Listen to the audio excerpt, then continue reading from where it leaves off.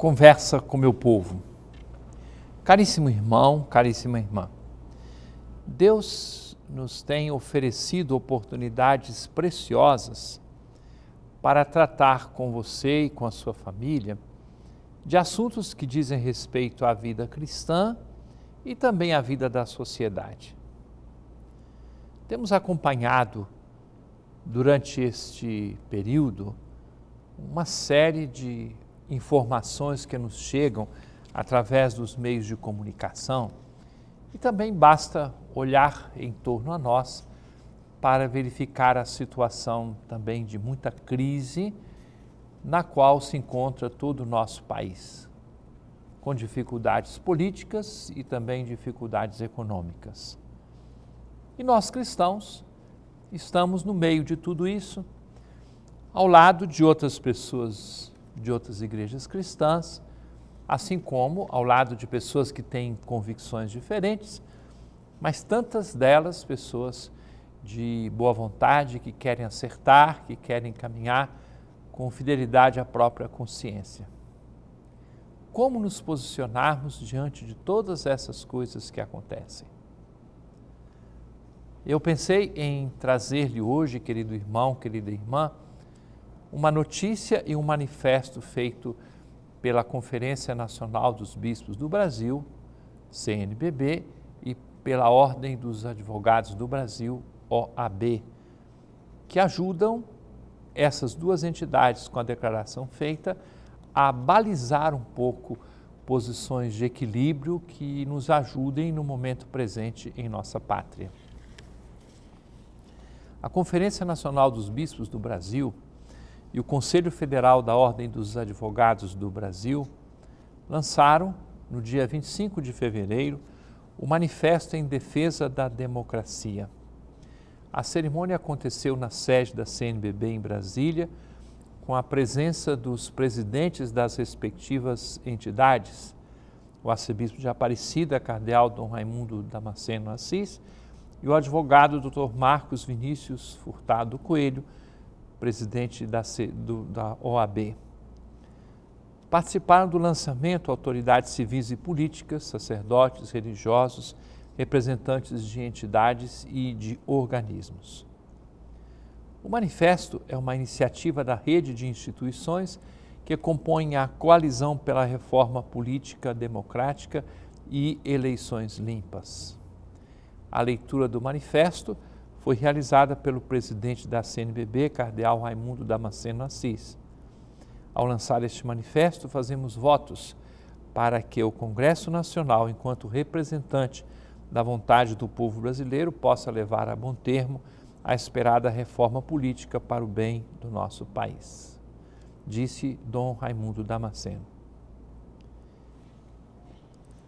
Eis a íntegra da declaração feita por essas duas entidades de grande respeito em nosso país.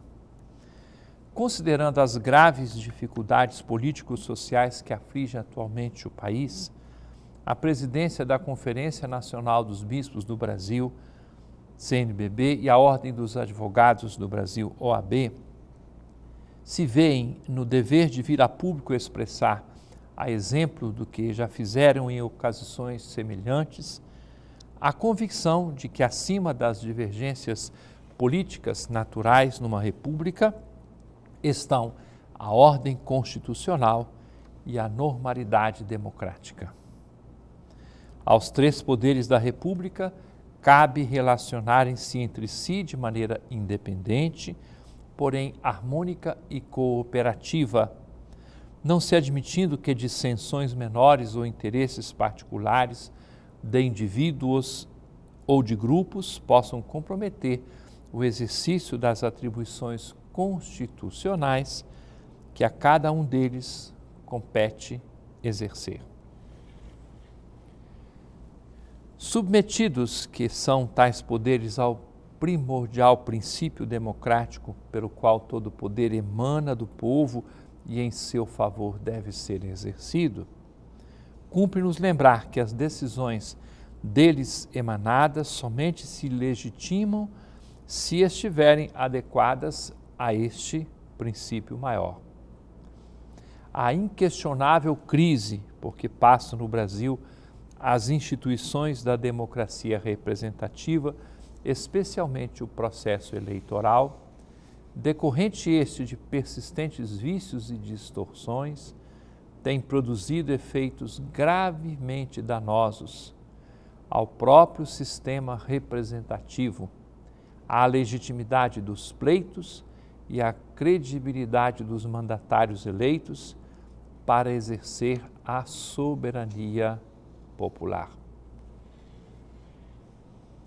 Urge, portanto, para restaurar o prestígio de tais instituições, que se proceda, entre outras inadiáveis mudanças, à proibição do financiamento empresarial nos certames eleitorais, causa dos principais e reincidentes escândalos que têm abalado a nação, afastando-se assim a censurável influência do poder econômico do resultado das eleições, o que constitui uma prática inconstitucional, conforme os votos já proferidos pela maioria dos excelentíssimos senhores ministros integrantes do Supremo Tribunal Federal no julgamento da ação direta de inconstitucionalidade 4650, ora em andamento naquela egrégia corte.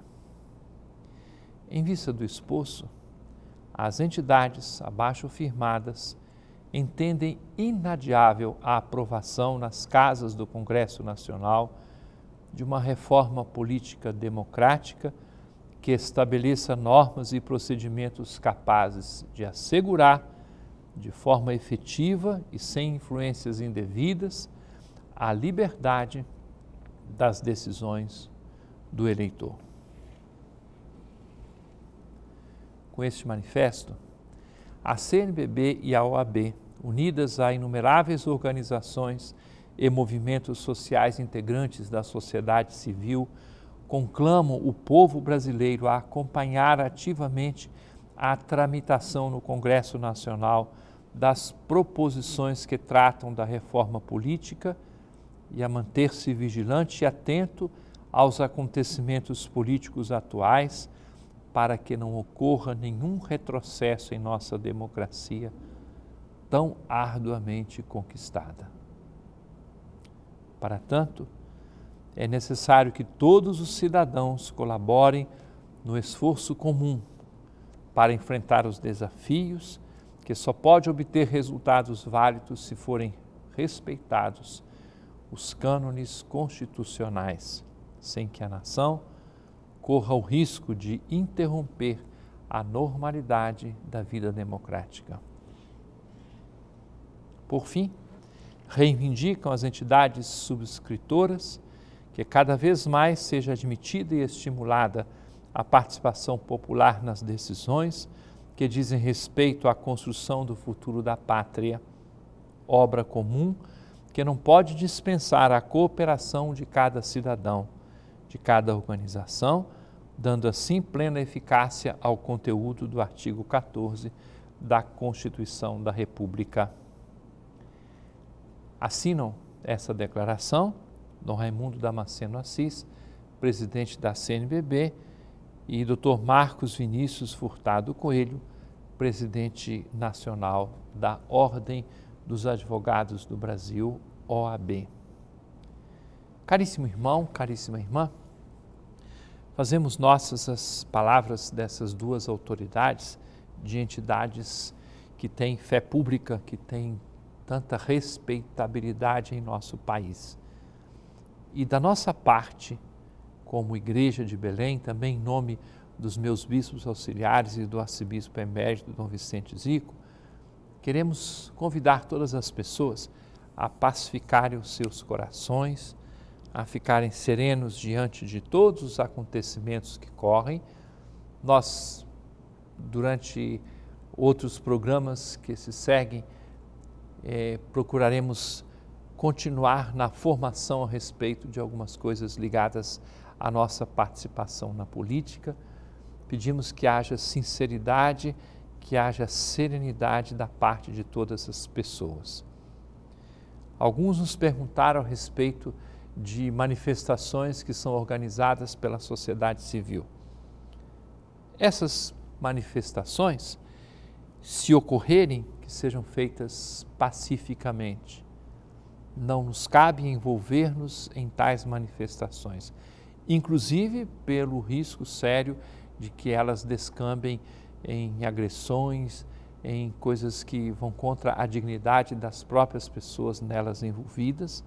Não nos cabe e é decisão nossa de que nós, enquanto instituição de igreja, não nos envolveremos nessas manifestações, sejam quais forem as facções que representem, porque consideramos que este é um momento extremamente delicado em que é necessário ter a prudência adequada da parte da instituição de igreja e queremos dessa forma agir e nos comprometer com seriedade no respeito à dignidade das pessoas e respeito à dignidade também do nosso país. Fique conosco, irmão, fique conosco, irmã. Daqui a pouco estamos de volta. Conversa com meu povo. Caríssimo irmão, caríssima irmã. No próximo final de semana, de sexta para sábado, vai se realizar no mundo inteiro uma iniciativa que começou a partir de uma ideia do Papa Francisco no ano passado. Durante a quaresma, o mundo inteiro dedicar 24 horas para o Senhor, como tempo de oração.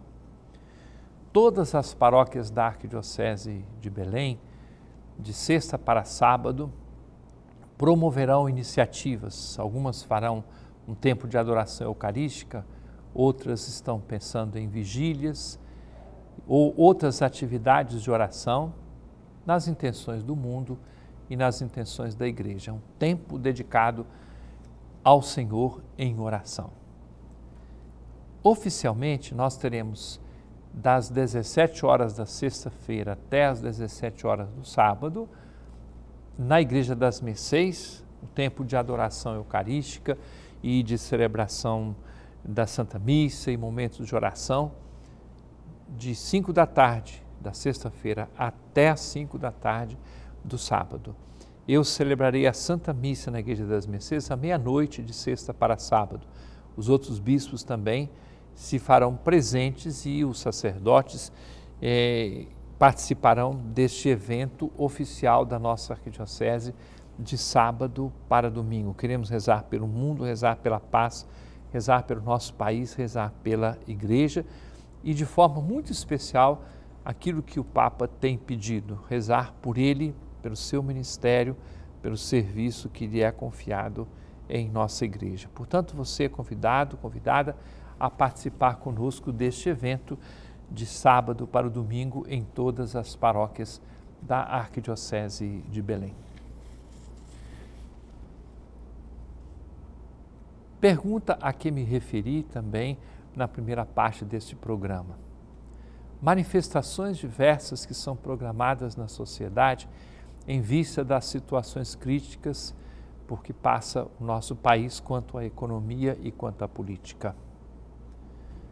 Participação da igreja, fizemos uma opção de como instituição, como igreja, não vamos nos envolver nessas manifestações, até porque sabemos que elas têm é, avaliação muito diversa das coisas e nós não queremos colocar em risco pessoas e situações. O cristão que quiser participar tem a sua liberdade, mas sabe também os seus riscos. Portanto, independente das manifestações, independente das facções que representem, eu tenho respondido a várias pessoas e respondo aqui de uma forma pública que a Arquidiocese de Belém não vai participar dessas manifestações. Como cidadão, como cidadã, a pessoa que quiser sinta-se livre, mas também saiba os riscos que pode correr. Perguntas que nos foram mandadas por escrito. Sandra Celeste, da Campina. O livro do Apocalipse foi escrito por quem? O mundo acabará mesmo? Bom, é bom dizer uma coisa, Sandra, que na Sagrada Escritura, quando a gente vê um título João é o autor do Apocalipse, é o autor de três cartas e o autor do Evangelho. Quando você fala João, não quer dizer apenas a pessoa do apóstolo João. Os estudiosos dizem que a maioria das vezes se trata de uma comunidade com a mentalidade, com o estilo daquele que deu o nome ao livro que foi escrito. Tradicionalmente, e está escrito no próprio livro do Apocalipse, que São João, ele foi para a ilha de Patmos e ali ele teve aquelas inspirações que consignou no livro chamado Apocalipse. É um livro que faz parte de um estilo, uma linguagem, a linguagem chamada apocalíptica, que olha para frente, olha para cá, olha para o passado, e uma linguagem cheia de códigos, de mistérios, e que serve para a gente refletir.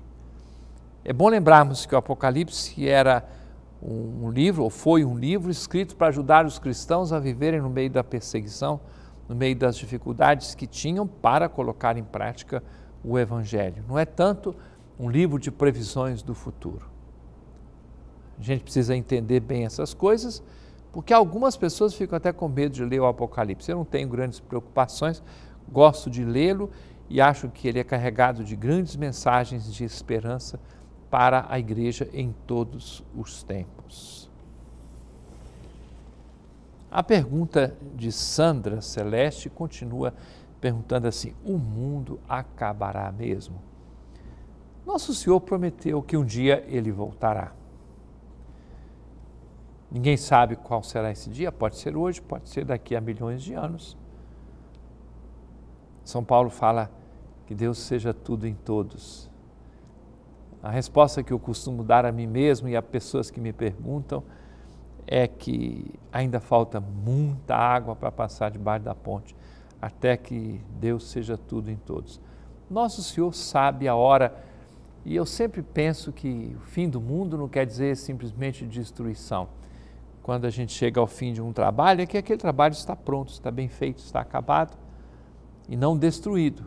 Portanto, nós eh, esperamos que esse mundo fique pronto.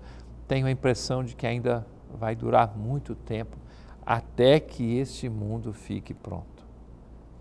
Um dia o Senhor vai voltar. Tanto que a igreja diz em todas as missas: Vinde, Senhor Jesus. E o Apocalipse termina exatamente com esta súplica do Espírito e da esposa, a igreja, pedindo: Maranatá, vem, Senhor Jesus. Silvia Botelho, do bairro Telégrafo, pergunta o que é o purgatório. Silvia, faz parte da fé da igreja dizer que quando a gente morre, nós nos encontramos com o Senhor. E esta visão do Senhor vai doer, vai purgar. Daí vem a palavra purgatório.